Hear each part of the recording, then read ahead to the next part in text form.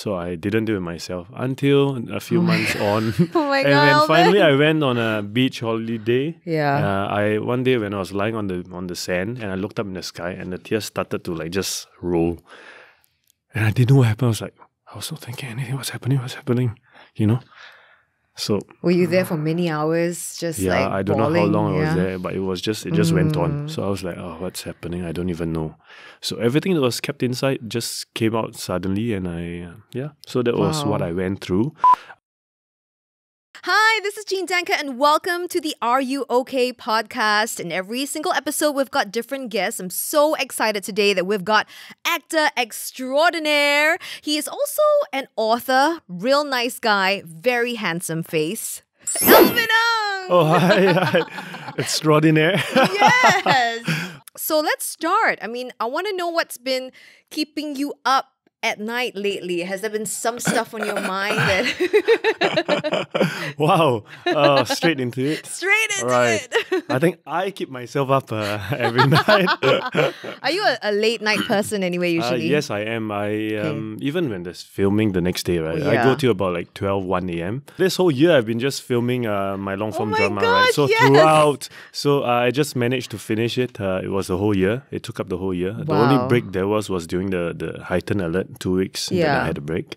Other than that, uh, I'm trying to get into some new things, uh, Yeah. learn some new things, uh, experience uh, life all over again, start again. You know, it's uh, it's very different times now. Yeah. I think anything goes, and I think uh, at different different phases of your life, whatever you want to try to do, just just go ahead and do it. Yeah. you know. I want to talk a little bit about uh, grief and Right. Mm-hmm. about your dad. Um, I know that your father passed away in 2012. Mm-hmm. You were smack in the middle of production at that time. And it took you like, I think, four months later where you were actually able to grieve properly. It was called a suspension of grief. Oh my god! right, suspend it, keep it somewhere, lock it somewhere, and then you deal with it later. So it was really tough. It was th- probably the the blackest period of my life, I would say, because uh, first of all, I just entered studio. Studio is always like very fast and three cameras. I see. So our scripts, we have to be very like good in them, right? Yeah. So it's top to bottom. And then uh, on the first day of studio, usually studios are very limited period. And then on the first day, um, when I received news, and then I was uh, I rushed to hospital, uh, and then my dad had to go for an operation immediately the next day, next morning. So I was like uh, shuffling between hospital and work. I didn't go home for the four days, and then after he passed on uh, because of complications. And uh, when I when he was going into theater, right. Well, I didn't even see him in. It was like two hours before I had to go back to filming. I said uh, I dare not say goodbye to my dad. I didn't dare to. Say, I felt it was not. it was inauspicious, and I said, uh, "Dad, I'm going to work." You know, right? So that moment spoke a lot to me uh, until now, and um, of course, after that, mm, he passed away. I had to deal with the wake for a week. My dad liked the like crowded, you know, like he has a big family, so all the village, the whole village of uh, relatives were like there. like rena, when, he, rena, when, right? he, when he passed on, he Yeah. Oh waited till like everyone was there, sort of, sort of. So after he was buried, my family couldn't be together. My mom, my sister, brother, and I had to go back straight right into my scripts because the next day I was filming, and then because everything was not done before that for that week, everything was squeezed in like ten days studio. Yeah. and every day was seven a.m. to one a.m. oh my That's like uh, eighteen hours. Yeah. And 18 hours and me not being in the state of mind to do it. It was a romantic comedy. Oh my gosh, Right. Elvin! And then I went through so so when after my dad was buried, immediately when I was home, I couldn't be with family and then deal with each other. You know, Yeah. I told my brother and sister to look after my mom, Mm. and I went back straight to my scripts. I, I hated that feeling sort Of of, course, because it's yeah. like I, I cannot. I had to put my emotions, everything aside, and like okay, be professional, do your work. And when I went filming, the first day was okay, and then uh, you know when I went back home at night, like imagine 1.30 a.m., I have to get to my scripts for the next day of 18 hours of work. and then I, when I spoke to my dad at the altar, I said, uh, Pa, I cannot talk to you for long. I have to go to my scripts. Oh my god. Uh, I only That's said like less than one minute because I was so stressed up. So it was tough. Imagine talking to him then, and it was like he's my one of the most important persons in my life. I couldn't deal with it. I had to get back to work because my work is like uh, it's about everyone. I cannot hold anyone up. Right. So of course there was already compassion. They helped me with a lot of things, but I still had to get back. So I had to deal with it. Uh, Yeah. so the first, second, third day was still okay. Like it was just the beginning. Yeah. And then it's like, oh, I'm done with the first day. Second day, third day. On the third day, I almost uh, broke down. I called my producer. I said I'm going to be half an hour to one hour late. I now, right now, I just feel like hiding under my table and not see anybody. Uh, Yeah. I was. I, something happened to me. There was some reaction. I was shivering, trembling. I didn't know how to deal with everything. Yeah. Right? And getting to work, I feel like because I was not in the state of mind, sometimes I'll be doing like line by line, and everyone's like, I feel like I had so much pressure. Right. pressure. Mm. So everyone was accommodating, but I couldn't, and then we just had to do it. So I, I didn't dare to leave home. Called my producer. At last, I still went, and I just went on. So I thought after studio would be better, like ten days nonstop. Okay, it was really sleeping an hour a day, really sleeping one hour a day. Oh because while I was reading my scripts, I was like falling asleep, and when I was like sleeping, maybe I was dreaming about the scripts. So Yeah. I never knew when I was awake or, or asleep. oh my God. Elvin. So it was Oh a really black period of my life. For, Yeah. Yeah. So 10 over days. Then after that, I thought we'll be going outdoors to film. So less uh, tedious, but Yeah. it was still because everything was still crammed.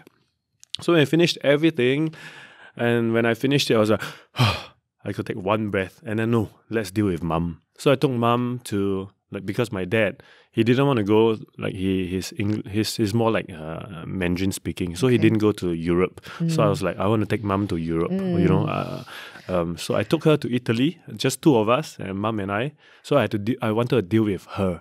Um, my mum and I, we are very similar. Uh, and then um, sometimes we, we quarrel a bit, but because she's like my close friend, you know. So I took her on a, on a trip, uh, eight days, uh, Italy. That's what I could manage then, eight days, and dealt with mum. So I didn't do it myself until a few months on. Oh my and God, then Elvin. finally I went on a beach holiday. Yeah. Uh, I one day when I was lying on the on the sand and I looked up in the sky and the tears started to like just roll. And I didn't know what happened. I was like, I was not thinking anything. What's happening? What's happening? You know? So Were you there for many hours? Just yeah, like I don't know how bawling? long I was Mm. there, but it was just it just went on. So I was like, oh, what's happening? I don't even know. So everything that was kept inside just came out suddenly, and I uh, yeah. So that was what I went through. Um, during that time, I I felt that I was still strong enough to try to handle because I maybe I'm like the eldest son. I feel like I have responsibility. So a lot of it is down to mental strength and character, I would say. Uh, no matter how tough, how impossible it gets, you know. Uh, when I think back, it, maybe it's not such a big deal, but it was such a big deal Of then. course, it's a big it deal. was crazy, right? But yeah, but a lot of people might have it worse. There are worse things happening. There are more things happening. So I think in life, uh, really anything can happen. Uh, how good it gets, uh, enjoy it. How bad it gets, you survive it. Just, just, just yeah. But you have to keep learning and uh, never give up because it's easy to be weak. Mm, It's easy, easy to just say, ah, I cannot, I cannot. But just, just keep going, just keep going. I think, yeah, How did you manage to crawl out of that grief? Um, because I, I, uh, I think that was 2012. I lost my mom a year after that in 2013. Hmm. And the thing I find about grief, right, is that it never really goes away. Grief is it's like ebb and flow. Sometimes you feel more of it, sometimes you feel less of it, but actually the grief kind of stays with you forever. Not I also don't feel like I want it to go away, right? I kind of yep. want to always feel it. right. Um, is that the same for you? It's a very strange feeling, right? Yeah. Uh, because when you feel like, why am I not feeling anymore? I feel like I'm forgetting. I Mm. feel like, am I letting my dad down, let's say? But now when I talk about my dad, it's nearly 10 years now, I actually feel um, I've accepted it. It's very important for acceptance. I think it's also important to have the whole process.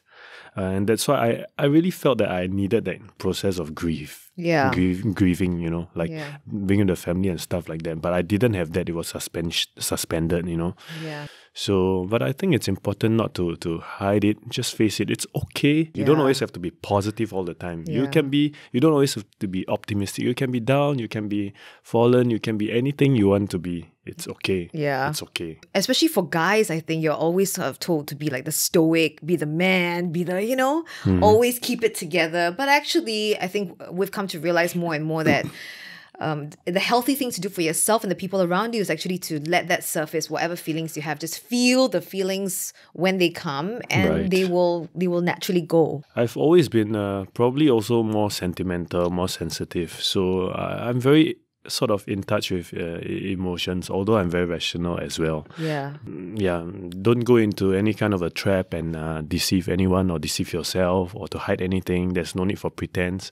But once in a while, if you needed that mask, you needed to be away, that's also fine. Whatever Yeah. works, you know. Yeah. You know, I was going to share this quote that about grief that I really love and I find like it's so true, right? I'll share with you. Um and see whether you think like it's the same for you. Mm-hmm. Okay, it's quite long. it's by it's by Anne Lamott. Okay. Okay, so she says, You will lose someone you can't live without, and your heart will be badly broken. And the bad news is that you never completely get over the loss of your beloved. But that is also the good news. They live forever in your broken heart that doesn't seal back up, and you come through. It's like having a broken leg that never heals perfectly, that still hurts when the weather gets cold, but you learn to dance with the limp. do you do you find that so beautiful. so beautiful? Huh? Yes, Love it is. that. How have you learned to dance with the limp? Because I'm still learning. Yeah, really? I'm still Okay. learning how to dance with the limp. Uh, I think I've always uh, embraced. Um, I think I've always embraced the weakness, uh, embrace cracks, embrace imperfections. I'm not someone who likes to like put up a front because. Uh, actually, it's the imperfections, the the flaws that make us uh, humane, make us real, make us personal. Yeah. So I think that's fine. Uh, you don't always have to be what what it's it's said to be. Like it has to be perfect. It has to be like this role model. So Yep. maybe previously I was trying to be the role model, but I feel like with my imperfections and whatever it is now, I'm more of a role model. Yeah. Yes, Yeah. yes. And the fact that you embrace it, Yes. right? Yeah. Also, I find that as an actor, you can use all these for the, you know, to build up your repertoire of like things to think about as an actor Um, a little bit. I don't think it that way. Okay. Uh, it's not a logical thought. It, it just happens because uh, with acting now, I would say I'm enjoying my job and everything much more now. yeah. Um, because why? Uh, initially, I'll be because I set high expectations for myself, and then when whatever people say, and I'm so sensitive, so I'm always questioning myself. I'm like super low confidence, low self esteem. So everything's uh, ah, it's it's such a struggle. But uh, I needed that process as well. I'm not complaining about that, you know. But where I am today, for me now I, I'm so much happier. I think I was more pessimistic and you know and like more emo. I was a writer, uh, more of a writer as well. So it's, it's different stages of life. But right now I'm like, okay, if you say say good things about me, huh, I'm like, yeah, actually it's not so good. They say bad things, actually is it really that bad? Not so bad. Okay, so accept your everything. like yeah, I'm I'm poor in this. I'm lousy. Yes. oh, I'm good. Okay. Yes. Yeah. Okay. then what? You know, let's move on. Yeah. So Yeah. so when you do that, you accept. You are able to accept everything for what they are. I feel I'm a happier person now. I was a, a bit more stubborn, more principled, probably. I was Okay. a more difficult person to deal with. Okay. Maybe. Uh, we, we knew each other from a long time ago. I I, think I'm a lot more serious previously. I'm a lot lighter now. It's I like feel the lightness in Really? you now. Yeah, I do. I do. not because I'm just like we're trying to wear like light pink, light blue, light yellow. I'm, I thought like today I'm supposed to like look happy. Oh, you so yeah. no, but I actually don't need this uh, at this point. When I was younger, I, I like to be brighter. Uh, usually now I'm just a bit more subtle. You know. So- Okay. So, I feel that. Um, I'm happiest now because I, I just accepted everything and it's just like that. Like what you see is what you get. Uh, I mean, after all the years of uh, good stuff and the bad stuff and the criticism or whatever, it's like, yeah, that that's just it. I can't change anything that I Right. cannot change. Yeah. Uh, I keep doing better, of course. Yeah. Right. So it's all just growing, part of the growing process. Uh, learning to come to terms with yourself and everyone around. So now I'm, I think I'm a lot more open and I, I, I it's important that I'm, I like to see people around me happy as well. Yeah. Previously, I was very just task oriented. I was like, if this is wrong, I would say it. Like, no, it's just not. Right. You know. But now I'm, I can do it maybe in a softer way or a different way. Yeah. Or I say things that people probably like to hear more, but not that's not being a hypocrite. Okay. Uh, that's me understanding that it's important to take care of uh, everyone uh, around as well. Yeah. It wasn't that I didn't care about people previously, but the way I did it. Right. So I feel like uh, I'm much easier and happier now. You've grown so much. Oh my gosh, this Yeah, awareness yeah, is great. I Yeah, mean, yeah, you know, because it doesn't hit everybody. I think that's really wonderful that you're in a good place. I was I was reminded of something actually that I wanted to ask you because uh, you having a sense of humor about everything. Your bandung outfit, I loved it, and I love even Are we still talking about that? Yes. no, I loved it. I- yeah, I just mixed the bandung. It's like What I really love was your reaction to it all. I mean, that was perfect. That's exactly what I was like so proud of you that you know you did that. Right, right, right, What do you want me to do then? I don't Nothing know. I I, could mean, do, like right? you know, because I mean, another a different person might have reacted differently to it, uh, Okay. but you just embraced it and went with it and just retweeted and I mean reposted the stuff. It was great. It was quite fun because I felt like it was very creative. Like, why didn't I think about that? Like, when I wore it, I didn't think of that drink. So it's like, wow, Singaporeans are really a, a wonderful bunch. Interesting. Yeah. Elvin, let's talk about your mom. How has she been? Oh, how about my mom? You heard something about her? I want to know whether she's okay. You know, how's everything like with the pandemic and all that. my well. mom is an interesting character. Yeah. I think I take after her a lot. Yeah. Uh, so even until today, uh, so for a while, maybe this past two three years, I've learned to like lighten up, lighten up a lot more, and then I'll be trying to change my mom a little because I feel like I'm exactly like her. We fight over the same things. We are like fighting fire with fire. We have same pattern, you know. um, she's she's more of a always uh, like everything is a problem. Okay. Uh, she focuses on all the black spots, only the black spots. And uh, even if it's purely fine and it's like perfectly fine, she'll always find something. There's always picking some problem. Right, So okay. I keep trying to change her, like, Mom, be happier, be more optimistic. It's hard to tell that. Uh, it's been hard on her because uh, my dad passed away very early at 57. Uh, so my mom was alone. Of course, now I'm glad that we all stayed together, my Yeah. whole family.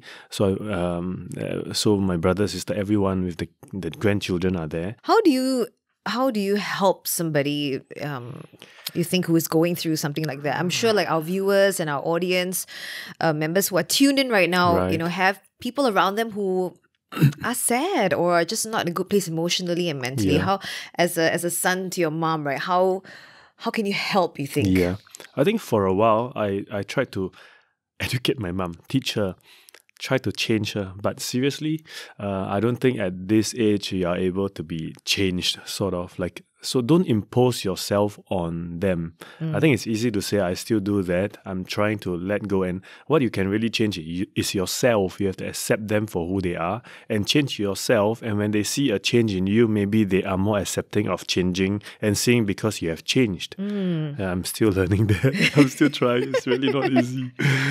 Yeah. So the it's really not uh, dealing with mom. It's really dealing with yourself. Uh, dealing with yourself, how you accept it, how you take it, how you are going to deal with it. So again, it's about awareness. So, for anyone who's like going through any kind of grief in their life, um, going through a loss of a loved one, do you have any anecdotes of wisdom that you can impart on how to deal, maybe? Uh, okay. Why don't I ask you that question? How oh my god. For me, I Yeah. think um like we mentioned earlier, I feel like you just have to feel the feelings when you're Mm-hmm. sad, let yourself be sad. Yeah. I actually thought that my misconception about grief was that once it happens, you're sad, and then you stop feeling sad. You know, I, I, I just had that idea that I don't know why. I mean, I've Right. never really gone through a, a loss of such a close person, like a parent. So I just thought, like after. After maybe like six months to a year tops, I'm just gonna stop feeling sad. I'm gonna accept it. Then I realized that, oh my gosh, no, Elvin, It's like I'm. I, there's always a part of me that is brokenhearted about it. Right. And then I realized it's not so bad. So Mm-hmm. I realized that this brokenheartedness makes me remember my mom mm-hmm. and makes me remember that I have so much love for her even Right. till now. Right. You know, this thing happened, right? It happened. But we know that it is going to happen. It will always happen. Everyone's going to face it, right? Yeah. So I actually think that when you are being prepared for it, prepared for it meaning basically you're embracing now. You understand that future is going to be like that. It is definitely going to happen, right? So what I'm saying is, first there is death. before there is life. I'm a bit of a. Okay. You have to understand the concept of death. It is right there. It is always just there. And when you understand that, it's not a very dark. It's not dark. What I'm saying. It's actually very empowering. It's actually very. Uh, it feels light because then you realize that you actually have to deal with it now. You are dealing with death right now because you want to take care of your loved ones. You want to treasure them now. You don't want to live with any regrets. You don't ha- want to have regrets. You know things are happening, uh, going to happen. So don't wait till after death because when after death we don't even know what death is, and after that what happens. You know, Yep. uh, you don't have to deal with it then. You deal with it now. I see. Yeah. Different perspectives about how to see death and grief. And I think a lot of us have learned also a little bit about changing your perspective about it, which is very, very refreshing, I have to say.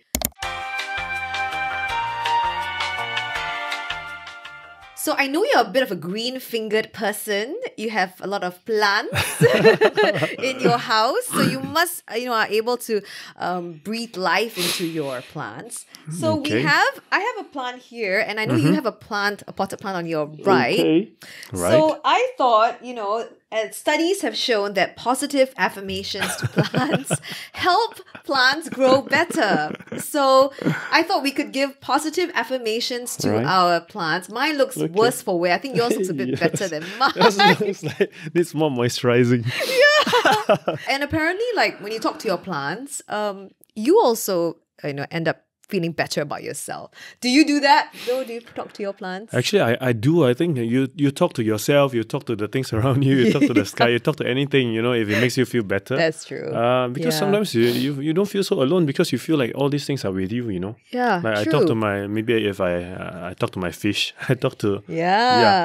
yeah even talk to the lizard. It's okay. That's hilarious. I say something, it's like oh my god, you just scared me. Like get lost. That's great. Okay, well, do you want to start saying positive affirmations to your to your plant? Should I give it a name? I should give it a name. Xiao cute. Xiao cute. Hello, Xiao cute. You you um you are the sun, the moon, and the stars. You can grow up to be whatever you want to be. Be a big, proud, moisturized plant in a few days, okay? You can do it. You can grow. All right, that's my that's my positive. I find it quite funny actually.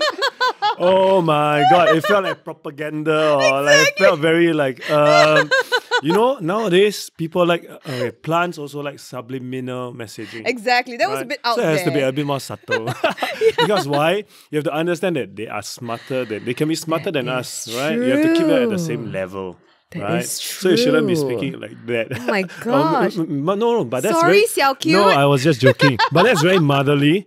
You are talking like to a child. Yes, Right? yes. Yeah, that's to the maternal instincts, right? So when Uh, no, I have a dog. I have a dog. so we'll see what happens in a few weeks, lah. Huh? Elvin, I'll tell you about it too. So how how are you gonna subliminally positive affirm your plan? that's like look into my eyes. Um I think all the good that you are doing, you are doing perfectly fine. Keep keep at it, right? And um, if there are some things that are not as good about you, it's okay. It's okay. You don't have to be perfect. It's all right. Just be organic. Just do what you are doing. You are doing fine. Uh, and uh, I can see you uh, blossoming, and I can see you really being healthy um, sooner rather than later. Yeah, you are doing great actually. Wow! You know what's gonna happen? A leaf is gonna come out right now. okay, that's incredible. Oh, even I felt encouraged if I were the if I were the plant. That was so lovely. Thank you, Elvin, for being here today. It was Thank you, lovely. thank you, thank you. Hope you enjoyed the episode with Elvin, and make sure you stay tuned for more. I'm Jean Danker for the Are You Okay podcast. Bye. and then then I'm like, how? Okay, fine. We have to drive back then. So Yeah. we drove back, and then obviously we were late already. I was driving really fast, and then when we reached the school, by the time it was really seven twenty-five. You know, the bell rings at seven thirty, and I'm like. Okay, just go, just go. Don't don't need to you don't, don't need to salam me or whatever. Just go. Yeah. Then my son actually stopped me and said, "But mommy, what if this is the last time I ever see you? Is this Oh how? Is this how you want to end it?" I'm like, Oh my god. bro.